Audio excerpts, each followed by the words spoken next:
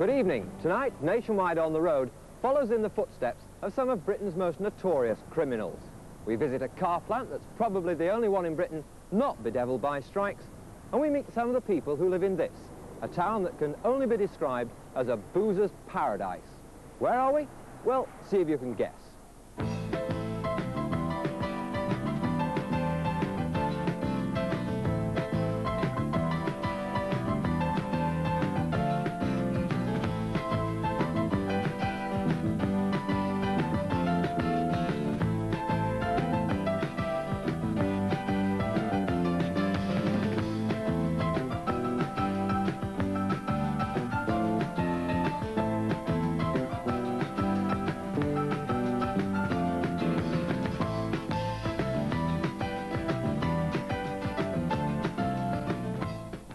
We are in fact in Abingdon, just six miles south of Oxford.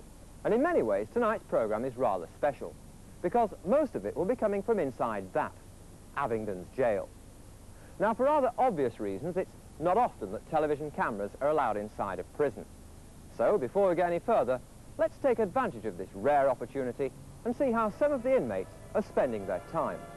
Picture you upon my knee, just tea for two and two for tea, just me for you and you for me oh.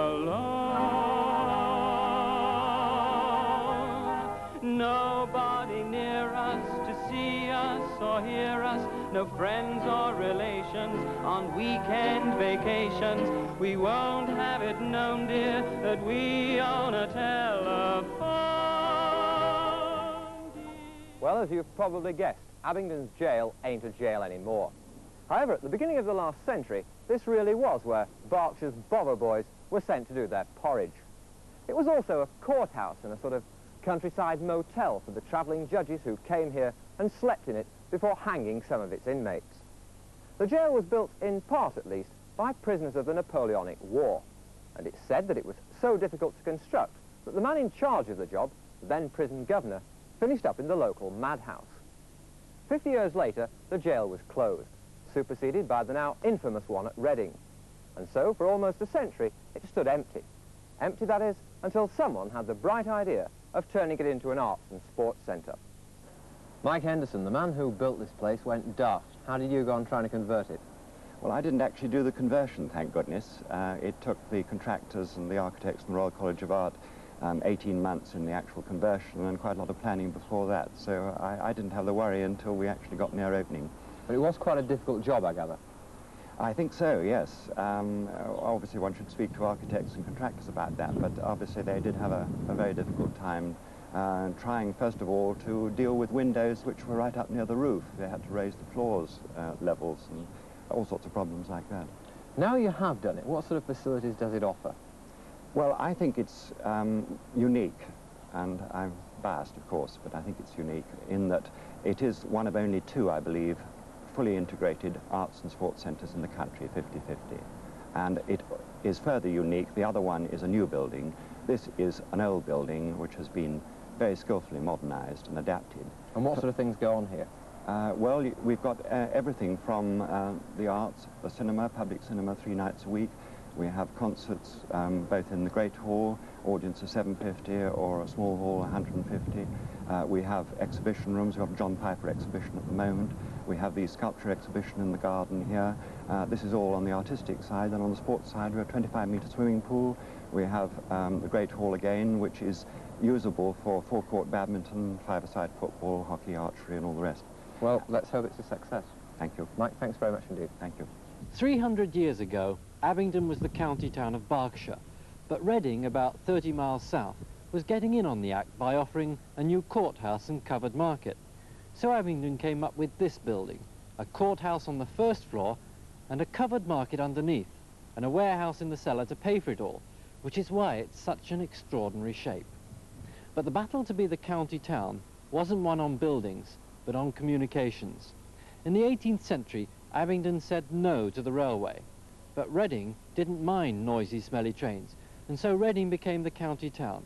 And look what happened to Reading. And Abingdon, well, Abingdon just stayed the same.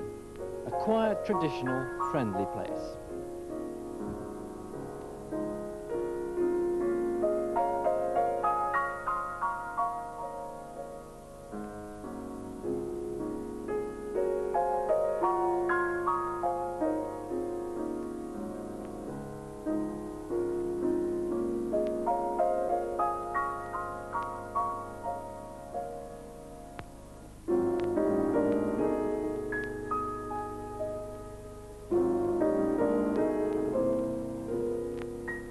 Abingdon fought off the railway and it'll fight off anyone else who tries to spoil it. It's a town on a small scale. A great brewing town once, but all the brewing was done in private houses. Today, it's a town of small caring communities, like Ock Street. The people who live here tell you they're citizens of Ock Street before they say they live in Abingdon. Ock Street even elects its own mayor, and it's proud of the fact that Ock Street is the home of Britain's oldest Morris dancing group.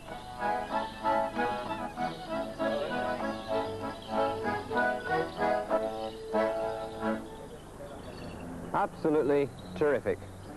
Colin, if I could stop you for a moment. We all know that this particular team dates back to the 16th or before the 16th century. When did Morris dancing itself actually start? Well, uh, the earliest recorded of Abingdon is uh, 1556. Uh, was in the parish records. The, the, the, the, town provided a shilling to buy bells for the Morris dancers. Obviously, it was already well established before then. And where did it start? Well, it, it, was a universal thing right across Europe and, it, you know, into Britain as well. And it was, it was, an old, it was the old religion of the, the corn, the worship of the corn, the vegetation. Uh, it goes back thousands of years. Obviously, it's not a written history, so therefore you just have to surmise a lot of the things about it. Uh, we, we've got a lot of vestiges left of that in, in the Abingdon tradition, actually, with the, with the colours we, we, we carry, you know. Yeah, what do those colours mean, in fact? Well, the, the red is the symbol, and the white is symbolic of the corn goddess, the purity of the corn goddess, Mother Earth. The red is the the uh, the poppy and the summer, you know, the warmth of the summer. The, that's the blue for the the cornflower and the uh, summer sky. And the green is the new shoots coming through, and the gold is the harvest. So in fact, what you're doing when you're dancing around is thanking Mother Earth for producing the corn. Yes, it's it's a sort of a love affair between the the young men, the men, and the and the earth. It's it's a fertility ritual actually. Amazing! I never knew that. And why is the Abingdon team kept going so long? Well, uh, these uh, old folk customs always kept going. People don't know why they do them, but these just keep going because they've always done them. But we owe our thanks to the, the older men who, who through the, in spite of uh, all the, uh, the wars, have kept going, you know, and uh, they, they kept kept this thing going. And now we've got a younger side that's taken on. But, uh, you mean people like Charlie here? now, like Charlie, Charlie, I gather you're the mayor. That's right, yes. How old are you, Charlie? 75. 75? Yeah. You've got the best job of the lot, haven't you? Oh, yes. Yeah. yeah. How long have you been doing it? Uh, 35, 1935. Since 1935? Yeah. Smashing. And this is Francis. Now, Francis, I've got to ask you, um, why do you wear a smock when all the others Well, are... I'm the fool, you see. I'm the sort of person who's supposed, in a literal sense as well, I'm supposed to keep the um, people in order, in line, make sure they've got the proper lines and everything, and also if they make mistakes, I'm trying to correct them. And what, to what make are it these bladders for? These are bladders to hit them with, to sort of make them feel the fool, you know. Make sure, make my presence, they do hurt. Not a very difficult job either, I don't um, No, you're training for it, really, yes. You've got to sort of keep out of the way, and this, that and the other, you know, don't sort of get in the way of the dancing or anything like this. Right, well, let's see you all in action. Thanks right. very much indeed. Off you go.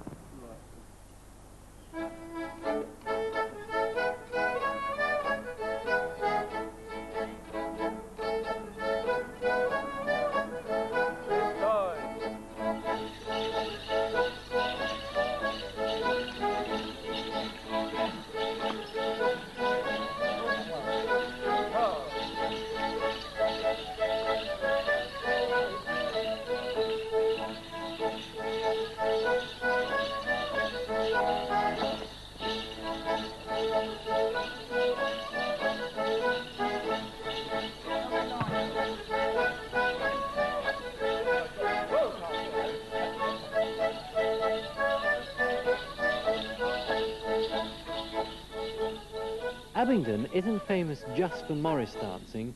Morris garages are equally, perhaps even more famous. 56 years ago, there was a chain of garages near Oxford called Morris Garages. Then they decided to do more than just repair cars. They decided to build them. And this is the very first car they built, the Morris Garage Special, or more simply, the very first MG.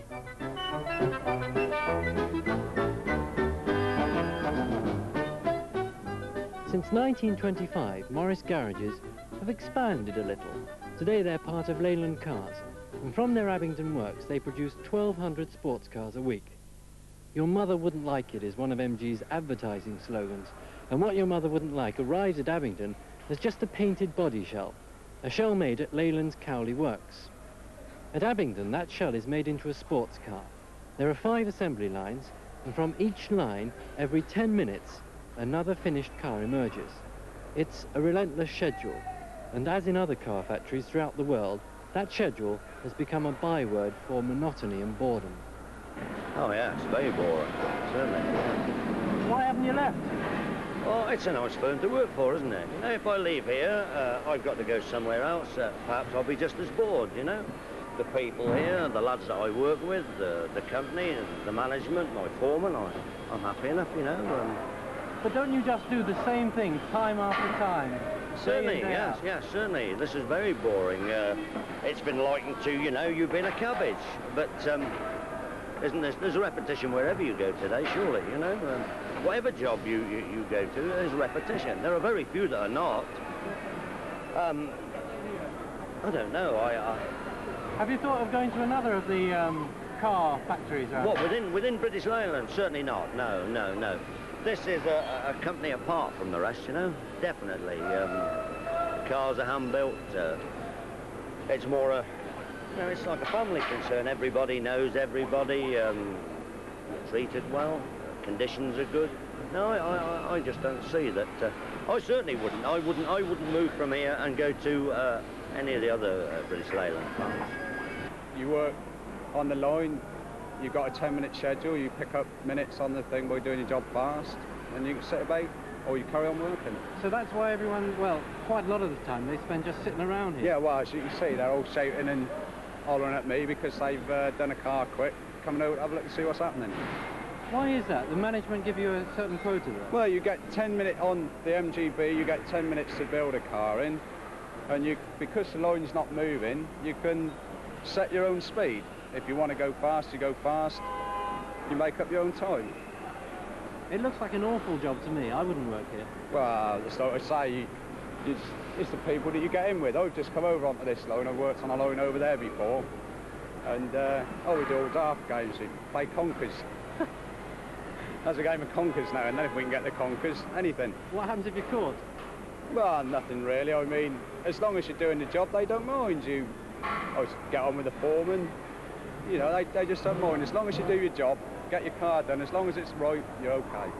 Do you like MGs? What, the car yeah. or the place? Yeah, the well, car. I used to have one. I had the best one that was ever built down here. Really? Yeah.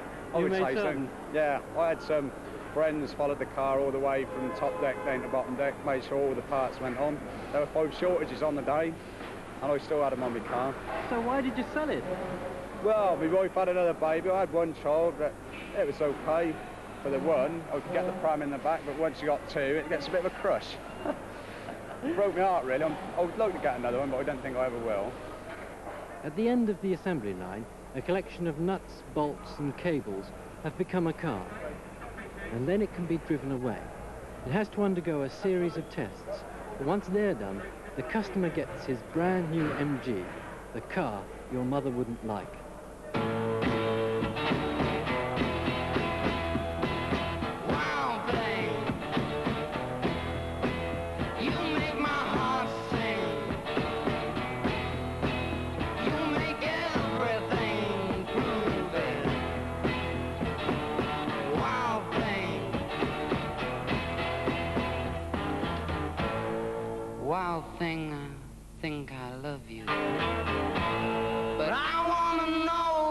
Come on and hold me tight. I love you.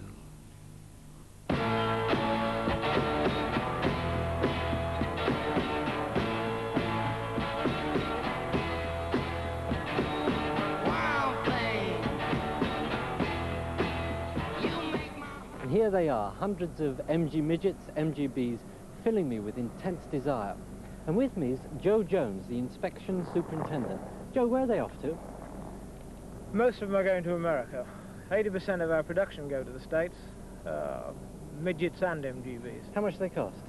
The midget, 1700 and the MGB tour off by 2300 What's the attraction of an MG?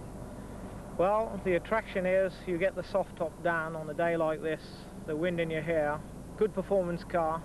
What better could you want? Wouldn't you like one, Bernard? Wouldn't I like one? That's a silly question. And then they said, pick whichever you want. I chose this yellow one. 1800 cc's of pure fun, all mine and for free, to drive away after just one more test.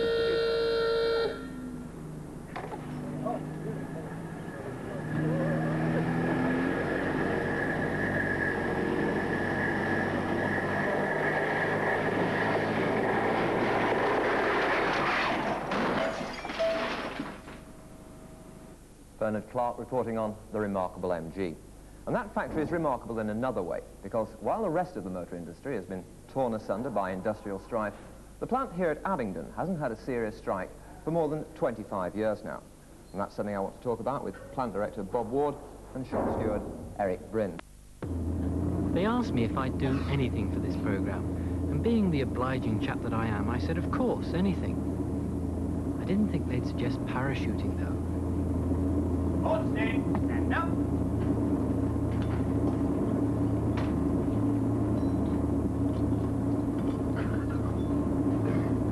Hold still, tell out for equipment check. One okay, one okay, seven okay, six okay, five okay, four okay, three okay, two okay, one okay, four stick okay. Bring it on. One. Go, go, go, go. Three, three, four, four, five, five, six, six, seven, seven, eight, eight, nine, nine, ten, ten. Sorry. Uh, this is the mock-up aircraft at RAF Abingdon, where they train up to 200 parachuters every month. They've had Prince Charles, John Noakes of Blue Peter, and even Private Insall. Who? Private Insall. He's the very last man to parachute over Abingdon. We often try to end on a high cultural note. After all, we were the people who brought you the Guildford Cathedral Choir, not to mention the Chelmsford Liturgical Dancers. And tonight is no exception, because in Abingdon lives one of the world's leading exponents of a rare musical art. Ladies and gentlemen, we give you Jean Didcock.